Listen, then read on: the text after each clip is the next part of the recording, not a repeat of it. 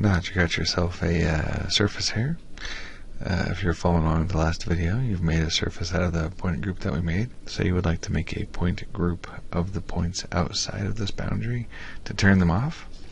What we need to do is go over here to point groups, right click, say new on this new one here. I'm going to give it an arbitrary name of like, you know, invisible. We like that.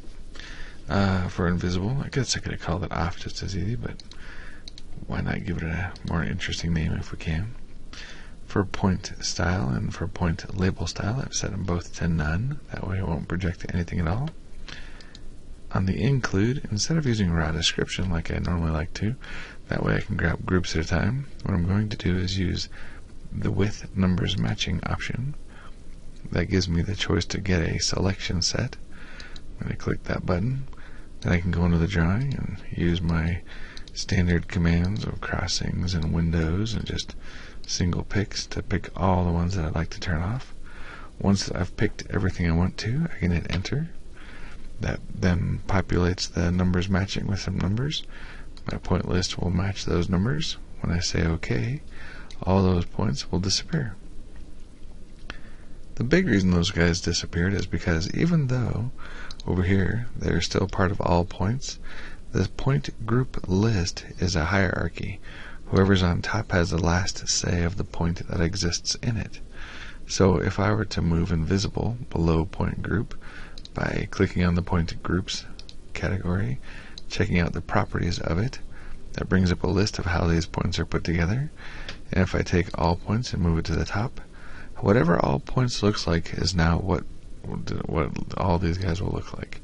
I can move it over to the side, hit the apply button. Oh, of course it doesn't work for this.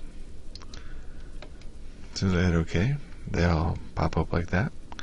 Now, if I were to go back here to the properties again, and now say I just move trees to the very top. So now trees is above all points, all points is above everything else. When I hit OK, now the trees, take on the example of the trees, but everything else still looks like all points.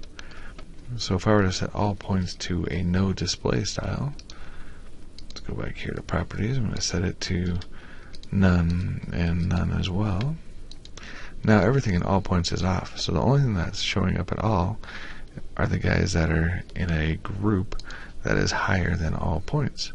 So if I take, if I go back to all points right now, trees is causing these three trees to turn on. But if I take the invisible group and move it above all points, trees will still override it. I have to put it above trees to get these three trees to turn off, keep these three trees on while the other points are off. And that's kind of the gist of point groups. Gives you a way to adjust the visibility of the points, but also puts them into groups so we can use them for things later on.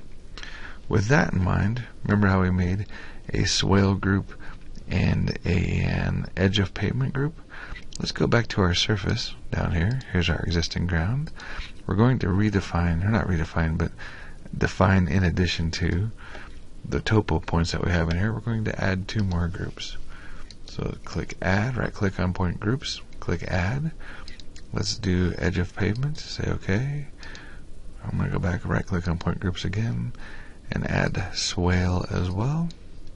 So now, if you look at my point groups, it's being defined by topo, edge of pavement, and swale. So with that, you should have seen a small change happen to our our uh, surface just with adding those two groups. Sometimes when you add a group like that, you may have to go over here to the existing ground and rebuild it.